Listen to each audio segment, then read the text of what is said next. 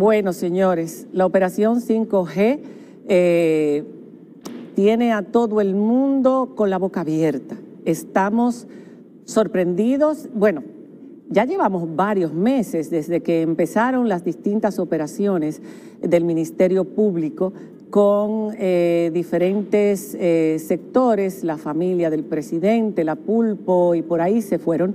La Coral, que es la, digo, perdón, la, sí, la Coral original que fue hace un tiempo con Adam Cáceres y ya le dictaron al grupo de Adam Cáceres la medida de coerción de los 18 meses y ahora están completando, todavía no se termina este proceso porque los detenidos son 13 en este caso, ya hablábamos de esto la semana pasada, pero cuando, y todavía falta más gente, de hecho ya ha salido también la esposa del mismo Juan Torres Robiu, eh, Juan Carlos Torres Robiu, que era el director del CESTUR durante siete años.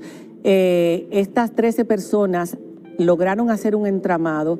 Bueno, uno de ellos, Rafael Núñez de Asa, que es el coronel de la policía, que es el cerebro de esta operación, eh, logró armar algo tan impresionante, tan impresionante. Y cuando uno escucha ahora lo que ha salido del general eh, Torres eh, y lo que uno está leyendo de los otros también que conformaban la, escolta, el, primero que era el subdirector y después estaba eh, nombrado como la escolta presidencial. Eh, el encargado de la escolta del expresidente Danilo Medina y los demás, incluso la chica que era gerente, una jovencita de apenas 30 años, creo que era eh, la gerente de la sucursal bancaria de Banreservas en, en la Venezuela, en Santo Domingo Este y cómo las relaciones entre ellos y cómo sacaron todos esos millones de esa cientos de millones de esa sucursal sin que nadie dijera nada, cómo metieron el cerebro de meter a todos esos militares y policías que recibían a lo mejor algunos de ellos dos mil pesos o diez mil pesos con esos salarios de veintitantos, de setenta y tantos, y, lograr sacar miles de millones de pesos eh, con propiedades, con dinero en efectivo a lo largo de tantos años. Y uno decir, ¿cómo es posible que el presidente Danilo Medina no supiera lo que estaba pasando?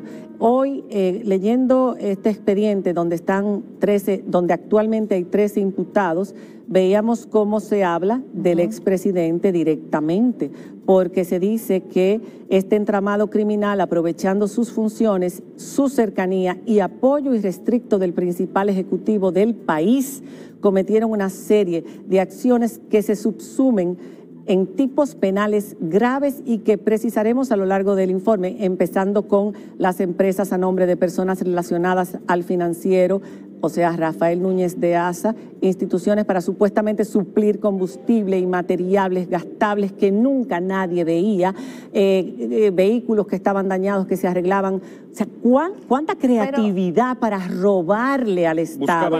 Cuando los militares, señores, los militares, la Armada, la Fuerza Aérea lo que reciben son 30 pesos diarios. Ustedes se acuerdan que estábamos hablando de eso cuando hicimos el trabajo con el CESFRON. 30 pesos para comer todos los días. Y esta gente robando millones y millones y metiendo a montones de personas. ¿Y cómo es posible que el presidente Danilo Medina también diga o se quede callado, no diga nada? No lo dijo con su familia y no lo ha dicho ahora con, toda esta gente ni que sus hermanos estaban en, un tramado de corrupción, menos va a saber de No, pero es, es, muy, es, muy, interesante que normalmente en tiempos de transparencia, en corrupción en el gobierno, dicen que solamente vemos la punta del iceberg. Pero esto ha generado tanto interés porque lo que estamos viendo es el iceberg estamos viendo todo lo que se está moviendo, porque normalmente uno, se entera de lo que hizo un ministro, lo que hizo el presidente o la familia del presidente, pero esto ya es lo que hizo el anillo. ya estamos viendo la masa. Otra cosa que indignó mucho a las personas en redes sociales y en general a la población era que el general, según alega el Ministerio Público, era que el general Torres Robiu utilizaba fondos del CESTUR para pagar ropa de marca, pagar tarjetas de crédito e incluso la matrícula escolar de sus hijos. Hay que ver eso como una beca, ¿no?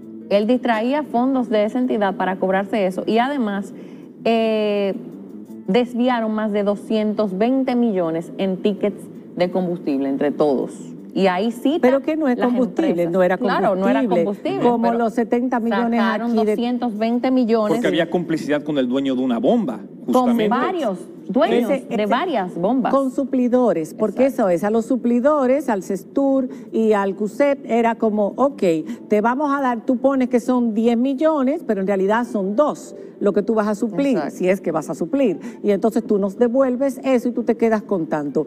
Con un montón de empresarios, con un montón de policías, con un montón de militares que estaban recibiendo. Todo el mundo sabía, todo el mundo sabía. Esto no era una cosa pequeña, esto era una cosa grande. no decir que nadie dijera nada nunca. Claro, ¿por qué? Ahí es que está la pregunta. ¿Por qué hicieron eso tan grande? Eh, porque se sentían protegidos, se sentían seguros. ¿Por qué nadie denunció? Porque veía que eso venía desde arriba. Si estamos hablando del director del CESTUR y el del CUSEP, o sea, el del cuerpo presidencial especializado de seguridad presidencial, esos son los que están al lado del presidente. Entonces el presidente tiene que saber, yo no puedo, o sea, me va a caer gas si yo digo algo. Lógico.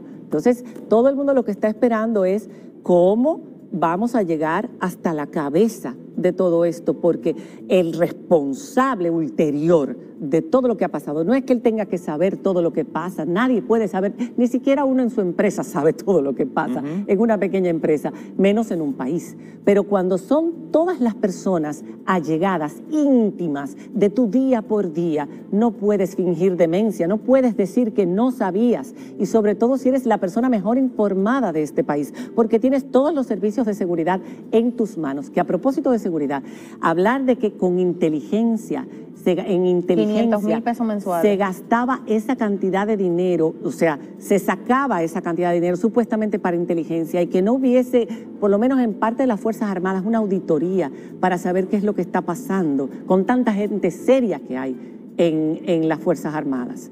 Señores, igual que en la banca, ¿Cómo es posible que de Banreserva se desviaran todos esos fondos en una sucursalita o una sucursal grande de Venezuela, de la Avenida Venezuela, porque no sé cuál es el tamaño de esa sucursal, pero no puede ser que una sucursal, una sucursal de Banreservas esté sacando toda esta cantidad de dinero y que nadie por encima de esta gerente diga nada. Nadie, ni siquiera los compañeros que estaban viendo también todo lo que estaba pasando. Yo espero que el Ministerio Público tenga pruebas suficientes para probar todo oh, esto. porque, miren, por ejemplo, ellos explican que además que a David Agustín Abreu Padilla, uno de los coimputados, que es apellido Valle, César Félix Ramos Ovalles, le era entregado el dinero por el imputado Ovalle en cajas y fundas de regalo con montos que oscilaban entre un millón de pesos y un millón doscientos mil pesos. O sea, cuando el dinero está en efectivo, es muy difícil eh, trazar ese, ese, ese por dónde Claro, por supuesto, pero follow the money, sigue el dinero, el rastro del dinero. ¿cómo sigo? Sí, me se lo en funda. Se sigue, se puede seguir y se puede saber. Ahora, hay una cosa que también llama la atención. Esta gente involucraba a toda su familia, a sus suegros, a sus exmujeres, a sus ex suegras, a sus compadres, a sus amigos, a sus amigas, pero sus esposas sí participaban activamente de lo que estaba pasando. Padre y madre de hijos, señores, que pensaban que este gobierno iba a estar, el PLD y Danilo, con su poder iba a estar toda la vida, digo yo, porque ¿cómo es posible que se involucren los dos? Porque se quedan los hijos sin papá y mamá una vez son juzgados. En este caso, Robiu, Torres Robiu, su esposa Grady, que estaba en Conani, Grady Cuello, que primero estuvo trabajando para el Ministerio Administrativo para organizar los eventos y todo eso, y que ahí ya sacó el famoso cheque ese, ¿te acuerdas? Que le entregó Girón, porque Girón sigue cantando y ojalá hayan otros cantantes también ahora en este nuevo grupo, que de hecho ya debe haber. Eh, pero eh, esta señora pasa al Conani y quiere establecer el mismo estilo con Núñez de Asa dentro del CONANI. Y bueno, este niño Guido Gómez Mazara hizo una denuncia, perdóneme lo de este niño, yo estoy hablando como si estuviera en la sala de mi casa. Doctor. Hizo una denuncia, eh, Guido Gómez Mazara, diciendo que ella está involucrada en la compra de un yate por valor de 700 mil dólares. 700 mil dólares. Porque además es burdo. es burdo, o sea, que no, no, no, Mira, las autoridades señalan que valiéndose de puestos falsos, Cuello Coste, que es Gravy Cuello Coste, la esposa de Robiu, nombró a varios militares en el CONANI, incluyendo al coronel Núñez de Asa, quien tras bambalinas funcionaba como director financiero de la entidad, a pesar de que fue designado como encargado militar de la institución que está llamada a proteger la niñez y la adolescencia en el país. Ella no está detenida. No, ella no está ella no está detenida, pero ella estará detenida. O sea, ella no figura en el expediente tampoco. Todavía, porque eso acaba de salir. Es posible que haya salido de otras declaraciones, de otras interrogatorios. o sea, ya veremos más personas detenidas, así como este grupito salió del primero, así puede seguir saliendo. La verdad es que era un entramado extraordinariamente grande. Ahí están acusados de lavado de activos, están acusados de estafa al Estado, están acusados de eh, todos los Cuatro años no darán, estos. No darán abasto para... llevar a cabo y finalizar todos estos, procesos, judiciales, porque es un acuario muy grande. Es un pues, acuario grande. Y hay un abogado, como decía Pero defiende a todos los peces y a todas las especies marinas. Él es el abogado de todo el acuario, Cándido Simón. Cándido. Y bueno, ya para terminar con esta parte de la Diana, tenemos una noticia que considero que es muy buena. La empresa Claro anunció ya públicamente el día de hoy que su actual presidente ejecutivo, Rogelio Viesca, eh, pasará a otras responsabilidades en México a manejar una empresa que se llama Red Nacional de Última Milla. Y en su lugar, aquí en República Dominicana, se queda el licenciado Carlos Cueto, que ya lleva muchos años en la empresa y pasa a ser el primer dominicano en manejar la empresa como director general y CEO, algo que claramente es un reconocimiento al talento eh, aquí en la República Dominicana y una noticia que por supuesto es relevante ya que las telecomunicaciones hoy más que nunca son fundamentales, no solamente para temas profesionales, sino por supuesto familiares, personales y de toda Bueno, pues eh, felicitamos a, Carlos Cueto por este logro. Es la primera vez que un dominicano ocupa esa posición en Claro y a todo el equipo de Claro y mucho éxito en su gestión. Señores,